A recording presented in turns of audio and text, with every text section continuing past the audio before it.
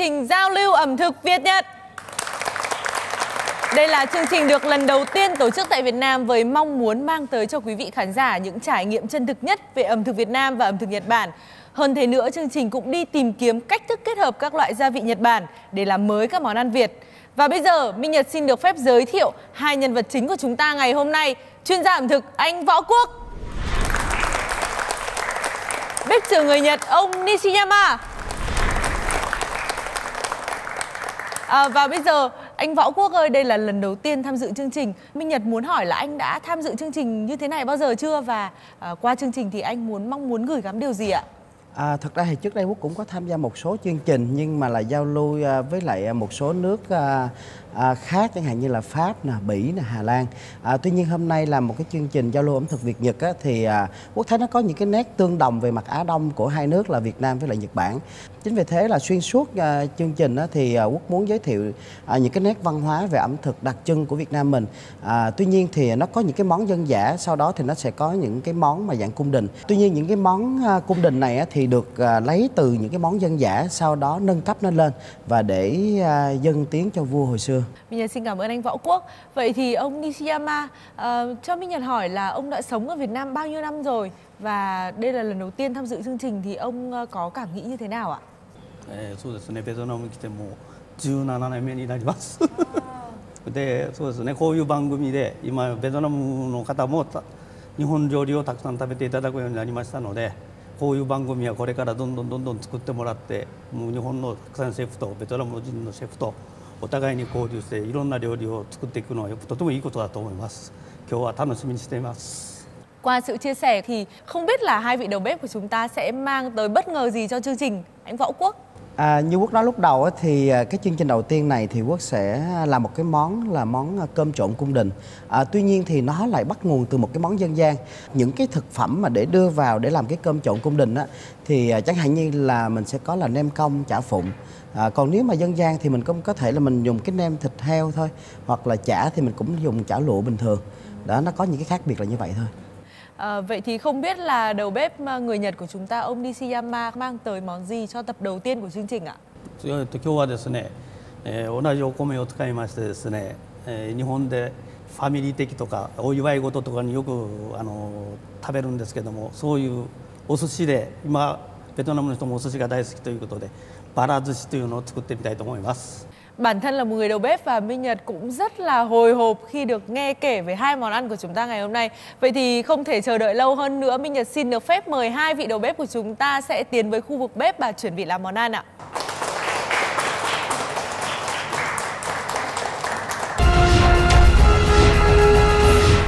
Chúng ta đang ở trong căn bếp của chương trình giao lưu ẩm thực Việt Nhật và bây giờ sẽ tới đến phần quan trọng nhất của chương trình, đó chính là phần chế biến món ăn.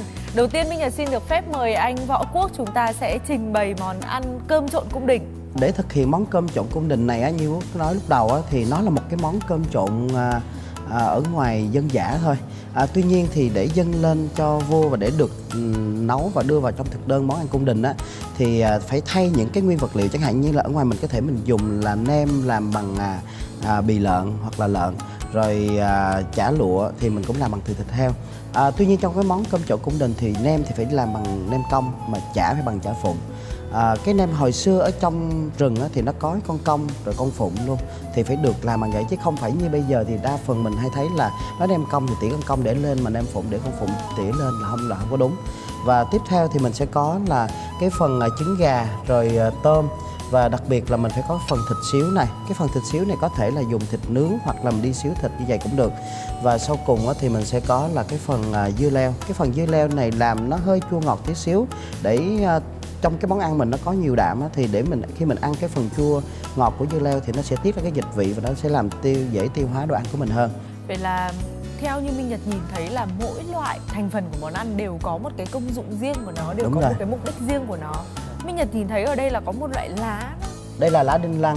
Thì à, Minh Nhật là người à, Bắc đó thì thường người Bắc thì hay sử dụng lá đinh lăng để mình ăn những cái loại đồ sống chẳng hạn như là nem này hoặc là gỏi cá sống thì đều phải có cái lá đinh lăng này.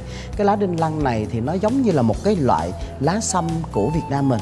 Cái củ đinh lăng thì họ cũng dùng, họ làm gọi là sâm Việt Nam nó cũng ngâm rồi cũng có chức năng y như là sâm thì à, trong cái món à, cơm trộn cung đình này thì mình lại có cái phần nem. Thì cái phần nem là bằng thịt sống hết thì bắt buộc mình phải có cái lá đinh lăng này để mình ăn vào gần như là mình giải độc ra, nếu mình lỡ có vấn đề gì đối với nem. Nguyên liệu của món này gồm những gì ạ? à đã là cơm trộn thì chắc chắn phải có cơm đúng không À chắc chắn phải có cơm. À, Thế bây giờ em sẽ à, giúp anh lấy băng. cơm. Mình lấy ờ, lượng bao nhiêu là vừa À, anh? mình lấy cỡ khoảng một chén thôi Một Không chén cần thôi đúng không ạ? Tại vì những cái cái cái phần mà nguyên vật liệu mình cho vào á à, rất là nhiều À, mình sẽ còn cho thêm các loại nguyên vật liệu nữa. À, cơm thơm quá. Đây, cơm của anh. cơm để nấu để làm cơm trộn cung đình á, thì phải à, dùng gạo dê ở làng An Cụ ở Huế và phải dùng đúng luôn cái cái cái om á, cái giống như là cái nồi đất ở làng Phước Tích để đi nấu cái gạo này. Thì đặc biệt hai cái đó kết hợp lại thì nó có một cái mùi thơm rất thơm và cái mùi đó lại kích thích cái cái cái cái vị giác. Rồi cái phần cơm này á thì nó có được mình nấu chín rồi nhưng mà mình cũng chưa có lấy để trộn liền. Mình sẽ nêm vào đây à, một ít gia vị muối hạt nêm. Đó. Rồi à, tí xíu tiêu. Rồi bắt đầu là mình sẽ trộn đều cái phần cơm này lên. Mình trộn cho cái phần gia vị nó thấm vào hết trong cái cái cái cơm này. Sau khi trộn thì mình làm gì hả anh? à, sau khi trộn thì mình sẽ cho cái phần dầu tỏi vào tiếp tục. À, đó. À, nếu chúng ta cho phần dầu tỏi vào để trộn liền á thì cái dầu nó áo hết cái hộp cơm rồi thì cái gia vị nó không thấm vào trong Không hộp cơm được được. vào trong. đúng rồi. Và với cái cách chế biến này á, thì nó rất là hay. Có nghĩa là khi mình trộn lên hết xong xuôi hết mình sẽ cho vào trong một cái nồi mình hấp lại. À, À. nếu chúng ta không có dầu tỏi thì cái phần khi mình hấp vậy cái hạt cơm nó sẽ bị bựa ra. À, tuy nhiên có dầu tỏi thì cái hạt cơm lại săn lại mà gần giống như là chiên nhưng mà lại mình ăn mình không có cảm giác như là chiên. Nó nó nó- nó có nó có vị béo trong đó nhưng mà nó lại không có bị bị bị quá nhiều dầu mỡ. À, có nghĩa đây là một trong những kỹ thuật để chúng ta có thể làm một món cơm ngon. Đó là sau khi mà nấu cơm xong rồi Mình sẽ bỏ ra trộn với các loại gia vị Và sau đó là sẽ ờ, cho thêm loại dầu tỏi vào. Với một lượng vừa phải thôi. Đây khi mình trộn xong mình sẽ cho hết vào trong nồi Ông Nishiyama, ờ, theo cách mà anh Quốc chế biến cũng là một cách chế biến cũng rất là mới Thì không biết là ở Nhật Bản thì mình có bao nhiêu cách chế biến gạo ạ? 蒸したり蒸してするご飯料理っていうのはたくさんありますけどもこういうあの油とかですねあのあ合わすのはほとんどないですねすごくあの興味があります Rồi bây giờ cái phần à, dưa leo này nè là mình sẽ cắt làm tư, mình bỏ hạt đi Rồi mình cắt à, chéo như thế này Cũng không quá mỏng mà không quá dày. Rồi cái này mình sẽ nêm vào đây là hạt nêm nè, đường nè, với lại tí xíu giấm.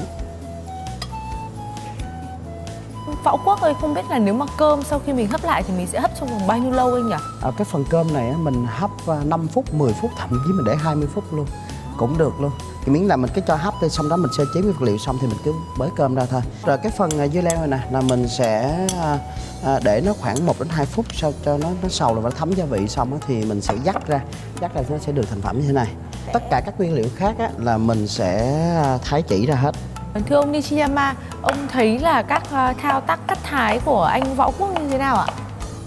そうですね、 えー、きゅうりをこう千切りっていうんですけども日本でいうのこういうやり方は同じようにありましてなんかこれをどういうふうにするあのご飯に混ぜるとかじゃなくなんかどうするのかものすごくえー興味が津々で見ています。 Rồi cái phần nem mình cũng thái sợi ra ha Mình cắt mỏng xong mình thái sợi Em cảm giác như món ăn này rất là đồng nhất trong cái cách mà sơ chế các loại nguyên liệu. rồi. Các loại nguyên liệu đều trở về một ờ, hình dáng thôi, nghĩa là tất cả đều là thái chỉ, Rồi bây giờ cái phần cuối cùng á, thì mình sẽ làm cái à, trứng tráng. trứng tráng. À, cái trứng tráng này nếu mà cho mỏng á, thì mình sẽ cho vào đây một ít bột năng. Mình pha nước cho ít bột năng và đặc biệt là mình đừng có cho bất cứ một cái cái cái loại gia vị vào trong cái cái trứng này hết. Để mình cho vào thì nó sẽ giống như nó phản ứng hóa học vậy đó thì cái phần trứng ta nó không có còn dai nữa. Rồi bây giờ mình sẽ cho một ít bột năng đó pha nước vào. Một chút thôi đúng không ạ? Với hai quả trứng thì chúng ta sẽ cho khoảng ờ, à, mình cho khoảng một Hai- thìa cà phê một đến hai thìa. à, bột năng thôi nha. Rồi xong mình tí xíu nước khoảng à, hai thìa cà phê nước. Chúng Rồi, ta đánh đều lên.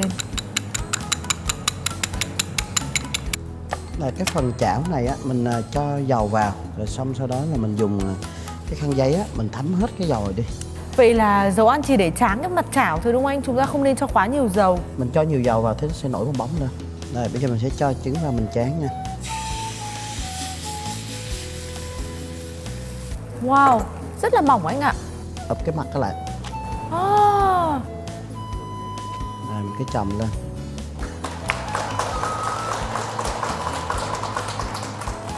Ông Nishiyama ơi, đây là một cách chiên trứng Thế không biết là với món trứng cuộn của Nhật Bản thì cách chiên nó có giống như, như thế này không ạ? 日本の卵料理の中にだし巻き卵ってありますけどだし巻き卵はこう薄く焼くんじゃなくて薄く流しながら巻き ずっとこう巻いて巻いて巻いてをだんだん大きくしていく料理ですね bây giờ mình thái à, chỉ cái phần trứng này đây Wow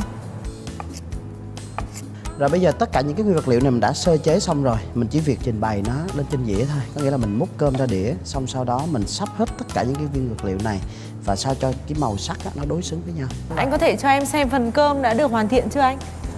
đây Wow Rất là thơm. Em ngửi thấy mùi dầu tỏi này. Mùi tiêu rất là rõ. Rồi bây giờ mình sẽ múc cái phần cơm này ra. Bình thường em thấy ở ngoài hàng là mình sẽ cho vào một cái bát rồi mình nén rồi mình úp xuống mà anh? À, có một điều rất vui thì đa phần á, thì mọi người muốn cho đẹp á, thì à, mọi người sẽ à, à, cho một cái chén giống như à, Minh Nhật vừa nói á, rồi xong rồi ém cơm lại. À, tuy nhiên thì đối với những người xưa á, thì những cái loại mà à, cơm mà được nén ém trong chén rồi xong rồi úp ra đó thì à, những cái loại đó thì để dành để cúng thôi. Chứ Ờ. không phải để dành cho người sống ăn. Mà người sống ăn thì là họ phải bới cho nó tơi lên nó tơi xốp. Thì giống như là nó có cái khí âm dương á tức là những cái khe nó phải có những cái khe hở. Thì cái đó là để để để điều hòa. Nhưng mà cái đó là cái người sống thì thường thì họ phải sử dụng là như vậy. Và bây giờ là sẽ đến phần xếp đồ. Đầu tiên là em thấy anh đã xếp được phần thịt xá xíu. Đúng rồi phần thịt xíu nè xong đến phần trứng. Không nên là các màu giống nhau quá bây giờ mình kế đến là mình sẽ cho cái phần à, giò lụa lên trên. Rồi mình sẽ cho cái phần nem này lên đây. Rồi sau cùng thì cái phần màu xanh này của dưa leo nè. Dưa leo mình đã muối xong rồi mình đã bớt mình dắt ráo nước rồi đó. Wow Màu sắc rất là đẹp mắt ạ. Sau cùng thì cái phần tôm cháy cái phần tôm này á mình à, lấy tôm tươi mình luộc lên luộc lên xong rồi mình giã ra. Giã cũng vừa thôi mình đừng có làm giống chà bông quá. Giã vừa xong sau đó mình cháy sơ là mình rắc lên trên đây À, vậy là màu đỏ cuối cùng phía trên sẽ là từ tôm cháy tôm đúng không cháy. ạ? Vâng. Rồi như nó lúc đầu thì cái món này á, bắt buộc mình phải uh, có đinh cái lăng. phần à, lá đinh lăng để ăn kèm luôn. Rồi như vậy món ăn chúng ta đã hoàn thành. Vậy là chỉ trong một khoảng thời gian rất ngắn và chuyên gia ẩm thực võ quốc của chúng ta đã hoàn thiện xong một món ăn vừa đẹp mắt vừa tinh tế. Ông Nishiyama ơi, ông thấy món ăn này như thế nào ạ? 수고국끼리에 làm từ 華やかさがありますねさすがあの皇帝が食べたというあの料理やと思います Vậy là quý vị khán giả ơi, chỉ trong vòng ít phút thôi thì chuyên gia ẩm thực Anh Võ Quốc đã thực hiện xong món cơm trộn cung đình, một món ăn vừa tinh tế, màu sắc vừa rất là bắt mắt.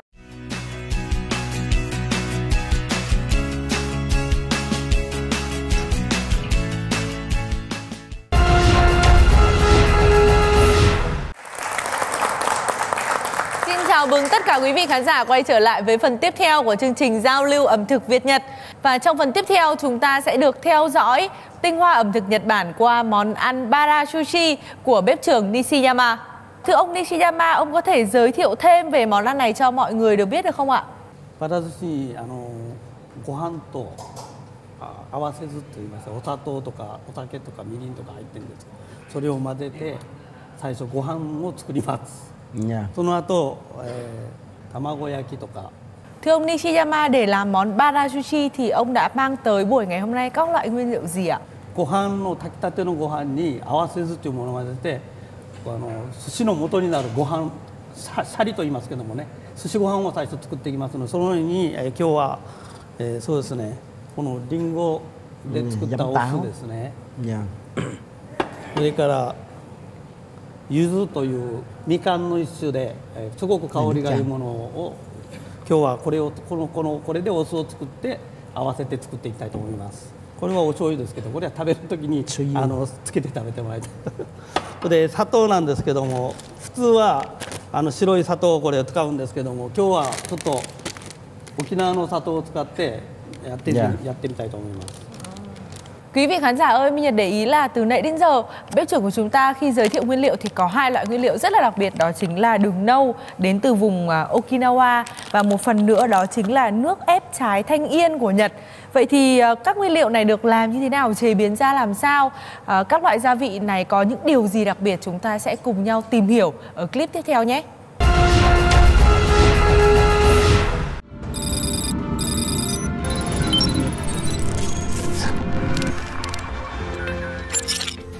Dùng Okinawa nằm ở miền Nam Nhật Bản, được biết đến như một trong số các khu nghỉ mát nổi tiếng thế giới và sở hữu nét văn hóa đặc trưng.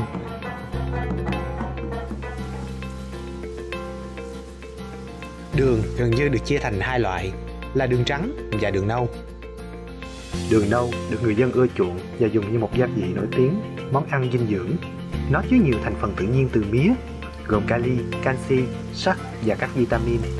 Cây mía Okinawa phát triển dưới ánh nắng và được thu hoạch hàng năm từ tháng Giêng đến tháng 3. Khi mía được nén ép tại nhà máy, nước của cây mía chảy ra.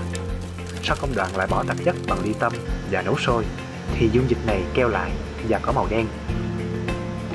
Tiếp tục được trộn đều bằng máy khuấy, đổ vào khuôn và làm khô một cách tự nhiên.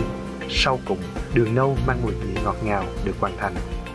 Ở Okinawa, đường nâu được dùng trong nhiều món thay cho đường trắng, giúp làm nên hương vị dịu ngọt và đậm đà như món bánh adagi, một loại bánh rán của Okinawa, các món truyền thống như thịt heo kho rafute hay các món xào chiên khác. Đặc biệt, đường nâu được yêu thích nhất là loại đường được làm tại đảo Hataruma, nhờ ánh nắng mặt trời tự nhiên mạnh mẽ cùng quy trình sản xuất kỹ lưỡng và kỳ công.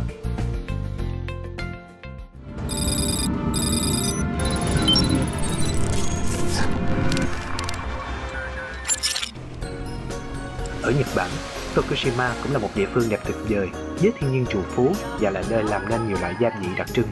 Một trong số đó là nước ép làm từ trái thanh yên, mang đến hương vị và mùi thơm độc đáo cho đồ ăn Nhật.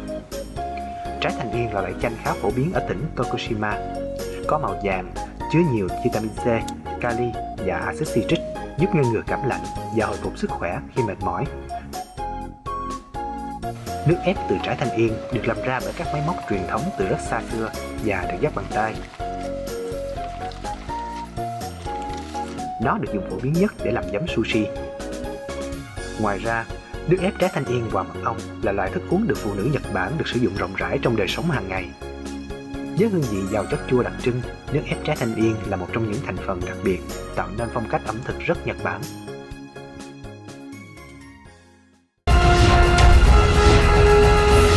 À, anh Võ Quốc ơi, anh đã nhìn thấy các nguyên, nguyên liệu này chưa và anh cảm thấy như thế nào ạ?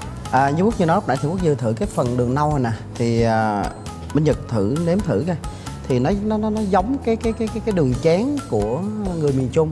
Người miền Trung thì có cái đường chén rất là hay. Cái phần đường chén á, là họ à, nấu nguyên chất xong họ đổ ra cái chén và khi mà nó nguội là thích đông lại. Đông lại sau đó thì mang đi nấu chè cũng rất ngon là rồi đặc biệt là kho cá và kho và làm nước chấm á, cực kỳ ngon.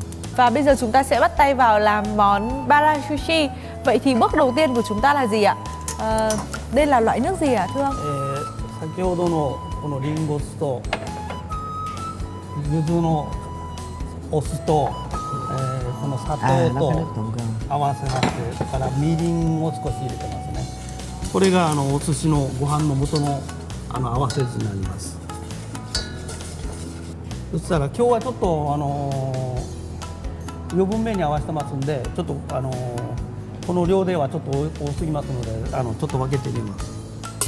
Vậy thì Minh Nhật nghĩ là cái phần cơm này sau khi được trộn xong thì sẽ có vị hơi chua chua ngọt chua chua ngọt. ngọt ngọt đúng không? つあのこの時に大事なことがありましてご飯をあの混ぜる時にご飯から粘りが出ますのでこれをこねないように混ぜてくださいどあの切るような感じでですねこう切るように全体的に混ぜ合わせてください。このまま20分ほどですね布巾をかけて一度こう蒸らします。いろんな具材を入れていきますので今日は、えー今日使いますのは、えーベトナムの方が大好きなサーモンですね。それからカニカマ、えーエビのボイルしたやつとびこそれから貝割れな、えーうなぎですね、えーあとごま青のり、えー錦糸卵あの大葉とかあの使ってやっていきたい作っていきたいと思います。えーまず最初ですね錦糸卵というさっき、えー彼が作ってくれましたと同じ用法で全く同じ用法ですけどこれを一回焼いていきます、Ờ, anh Quốc ơi, em cảm giác là món ăn này của chúng ta sẽ rất nhiều đạm bởi vì ờ, hầu hết là hải sản, có lươn, có tôm, có thanh cua, con ờ, rong biển. Minh Nhật cảm giác là đây là một món ăn có rất là nhiều nguyên liệu từ nãy giờ em đếm đã có được. Ôi, có đến khoảng tầm 10 nguyên liệu ở trong này. Tôm thì chúng ta sẽ à, cắt làm đôi, bỏ phần chỉ ở giữa, cắt ra làm 3 phần. À, và tới phần cá hồi. Cá hồi thì chúng ta sẽ thái ra thành từng lát. でちょっと飾りをいろいろと切っていきますんでこれから Wow. wow à, Minh Nhật thấy để ý không thì thường á là thấy à, ông Nishiyama là cứ gọt Ngược, gọt từ vào phía ngoài vào trong À. rồi à, ngay cả lúc mà cắt cá vậy cũng kéo từ trên kéo xuống luôn À, thế đây là họ làm thế này thì sẽ không bị ảnh hưởng đến người đối diện. Anh thấy thế nào về về về cách sử dụng dao của người Nhật ạ? à, à, cái cách sử dụng dao của nhật là khác hẳn cái cách sử dụng dao của người ờ, việt mình luôn. Người việt mình là cứ là bào là cứ phải là bào ra. Đó và cắt cũng vậy cắt là cứ đẩy tới. Nên là cái con dao nó sẽ khác nhau. Mình làm thì con dao mình cái bản nó phải đứng như vậy và bản bự thì mình mới, mới băm vậy mới băm mình tới như vậy được. Đúng rồi. Oh, đây là chính là cái cách ờ, gọt vỏ của người Nhật đúng không ạ? Nhưng mà bình thường em thấy khi mà gọt như thế này con dao phải rất là sắc. Đồ đúng rồi. こう薄くどんな剥いていくんですけども日本料理の基本中の基本でこれができないとあの日本料理の料理人になれないです、えーいつもはですねこれをこう切ってた縦に打っていって、えー白髪っていうんですけどもあのお刺身のつまとかによく使いますけど今日はですね飾りに使いたいと思いますのでねじりにしてやってみたいと思います Thế là mình có thể sử dụng cái đũa để mình tạo thành những cái cái vòng tròn rất là đẹp. Wow. あとですね今日は日本で今一番旬なんですけどもみょうがというあの野菜の一種です。でこれを水の中にさらします。これはちょっとあのアクがありますので苦味がちょっときついから少しだけ水の中さらしておいてください。Chỉ hơi có the the mùi gừng ここ thôi 人.肌に冷めましたご飯が。もうここで大体具材ができてますので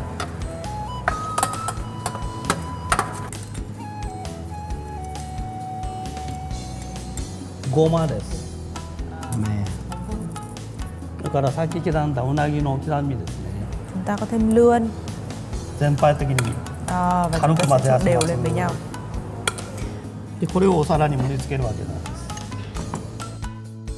Ờ, quý vị khán giả thấy không không chỉ có mỗi người Việt Nam chúng ta các cụ người xưa kiêng kỵ về việc là à, chúng ta sẽ nén chặt phần cơm mà đối với người Nhật Bản cũng như vậy họ khi trình bày ra đĩa thì họ cũng ca cũng cũng rất là ờ, thoải mái đối với phần cơm và phần cơm cũng phải rất là tơi xốp thì mới trình bày ra đĩa た薄焼き卵の刻んだやつですねこれを全般的にでこの上にあの先ほど切ったサーモン今日はサーモンですね chúng ta sẽ có thêm cá hồi sống này các phần tôm đã cắt thái 全般的に Dạ. 先ほどのミョウガと。か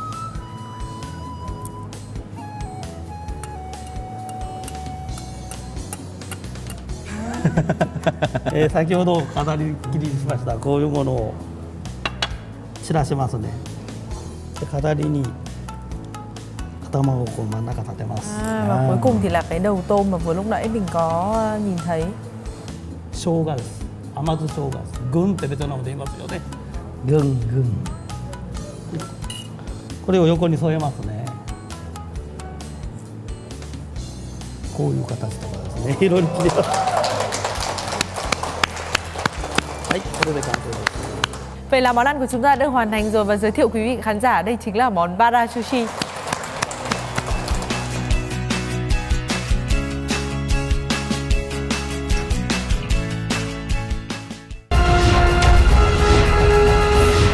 À, vậy thì từ nãy đến giờ bây giờ để ý là quý vị khán giả của chúng ta cũng đã rất là đói bụng rồi bởi vì xem hai vị đầu bếp nấu những món ăn rất là ngon này và Minh Nhật còn để ý có một vị khách rất là đặc biệt Xin mời uh, diễn viên Hiếu Hiền anh có thể lên trên này để giao lưu cùng và mời thêm một bạn khán giả nữa.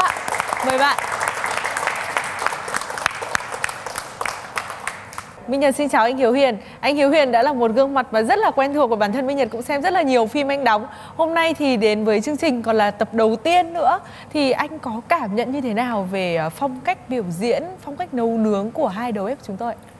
À, Hiếu Hiền à, rất là may mắn khi mà được xem à, hai vị đầu bếp à, tạo ra hai món ăn cơm trộn cung đình nói chung là đây là một cái món ăn là đặc trưng của kim mộc thủy hỏa thổ là mình nhìn thấy rõ ràng là năm màu có năm màu sắc rõ ràng. Và theo như à, hiếu hiền được biết ngày xưa khi mà vua chúa khi mà dùng cái món món cơm này thì à, thể hiện cái quyền lực của mình là khi món ăn của mình là sẽ phải có kể cả là thức ăn những cái gì tinh hoa nhất từ trên rừng và dưới biển cũng đều có. À, còn một bên đó là của à, ẩm thực của nhật là barasushi thì chúng ta thấy là đây là một có thể nói là một cái món ăn mà rất là hợp với khẩu vị của người nhật là đa phần là đều là cá thì chúng ta nhìn thấy là cái cách uh, trang trang trí của anh là thấy nó cầu kỳ hơn cũng cũng dữ dằn lắm nha. Nào là có tôm nè có cá nè quan trọng là cái đó là phải đi kèm với lại uh, cái uh, cái uh, wasabi. Vậy thì còn bạn nữ chúng ta cảm thấy như thế nào nhỉ? Bạn đã có hay ăn đồ nhật không? Um, dạ em cũng thường hay ăn đồ nhật lắm chị. Uh, em cảm thấy là hai món đều rất là ngon và nhìn rất là bắt mắt ạ. À. nhìn mặt là biết ham ăn rồi. Vậy thì bây giờ khán giả của chúng ta rất là đói bụng mình xin mời hai đầu bếp ạ. à. Mời bạn. Dạ, vâng, cảm ơn anh. Bây giờ Quốc sẽ hướng dẫn à, cái cách ăn trước Thì mình sẽ có một cái chén nước mắm chua ngọt Mình chan đều lên trước. À. Xong sau đó mình trộn lên. Trời ở đây ta đang trộn mà dưới này nghe nuốt nước miếng nghe ớt ớt ớt ớt gì đó. Đợi đi chút xíu đưa, đưa mọi người miếng. Bây giờ à, em mời anh. Đó,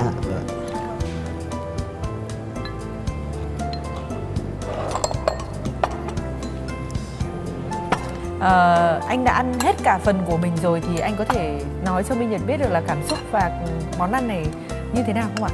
Cái món ăn mà cơm trộn cung đình của chúng ta thì uh, cái sự hòa quyện giữa uh, cơm, thịt và kể cả là có cả tôm tôm tôm cháy mà mà uh, nhuyễn á thì uh, nó rất là ngon. Bên cạnh đó thì có cái nước sốt là đó chính là cái nước mắm chua ngọt thì uh, cũng giúp tăng thêm cái, cái phần khẩu vị để làm sao cho nó vừa ăn mà à, ăn thì à, mình có cảm giác là nó nó nó nó thơm lắm. Để quay qua đây kể bên này cho ta chảy nước miếng bỏ vô miệng á mình ăn thì à, nó thơm và trong đó nó có cái vị ngọt của cái cái dưa leo á. Cái dưa leo á nó hòa quyện vô đã lắm. Đó bắt đầu thấy là ra nè nè quay qua đây nè mình quay qua đây mình thấy là ai cũng nuốt nước miếng nè. Đó đây nè. Trời ơi nuốt nước miếng mà nó mặt đỏ lên luôn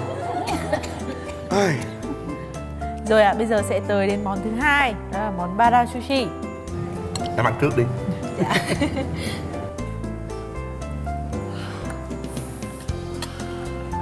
Trời ơi, anh võ quốc của chúng ta cũng đã không thể chịu kém miếng và đã cũng đã ăn một miếng cá hồi rất là to rồi ạ.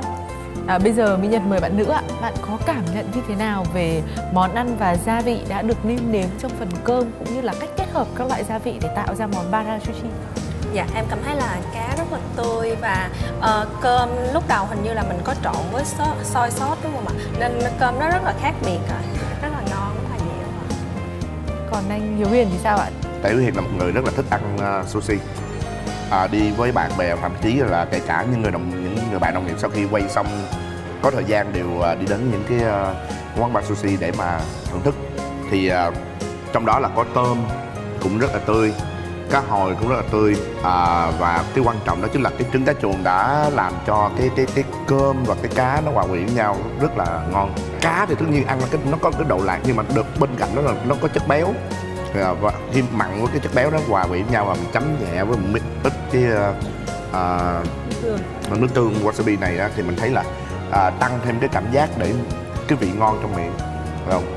Nếu mà kèm theo mình ăn thêm cái gừng này là đúng là đúng chất. Và có thể nói là cái cái hay của người Nhật đó chính là cái cái, cái gừng ngâm này của họ. Cái gừng ngâm này á là khi ăn sẽ tạo ra được cái cái cái cái vị giác á nó rất là tốt. Và bên bên cạnh đó là cũng là một trong những cái món ăn rất là tốt cho cái cái cái cơ thể. Nó ấm giữ ấm bụng và thậm chí là mình có ăn đồ sống như thế nào thì nó cũng không sợ bị gì hết. Đó là cái hay của ẩm thực của người Nhật. Xin cảm ơn. À, và bây giờ thời lượng chương trình thì đã kết thúc rồi. Minh Nhật xin gửi lời cảm ơn tới hai vị khách mời của chúng ta. Cảm ơn anh Hiếu Hiền. Và Minh Nhật cũng gửi lời cảm ơn đến hai vị đầu bếp của chúng ta đã mang tới tập đầu tiên của chương trình giao lưu ẩm thực Việt Nhật hai món ăn rất là ngon. Và chương trình xin được phép kết thúc tại đây. Xin chào và hẹn gặp lại quý vị trong các chương trình sắp tới.